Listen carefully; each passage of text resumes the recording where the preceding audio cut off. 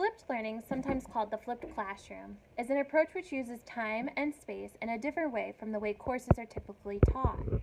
In traditional instruction, students' first contact with new ideas happen in class, usually through direct instruction from the teacher. After exposure to the basics, students are turned out of the classroom to tackle the most difficult tasks in learning, those that involve application, analysis, synthesis, and creativity in their individual spaces. Flipped learning reverses this by moving first contact with new concepts to the individual space and using the newly expanded time in class for students to pursue difficult, higher level tasks together, with the teacher as a guide.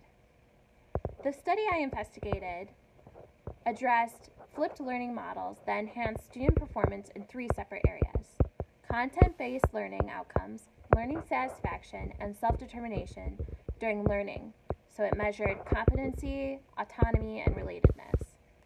The study looked at students in three different subjects an eighth grade technology course, an eighth grade algebra course, and an eighth grade humanities course. Each course had two classes a control group taught traditionally and an experimental group taught using flipped learning. Both the control and the experimental groups used active learning techniques, including problem and project based learning, think, pair, share discussions, and brainstorming activities. The only different difference was the method of instruction. In the control group, instruction was initiated during the group meeting times, and the teacher presented new material with the remaining time spent on active learning techniques.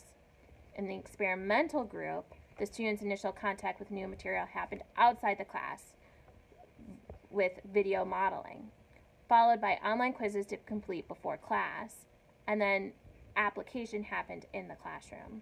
The results of this study were strongly positive for flipped learning and its influence on competency, autonomy, and relatedness.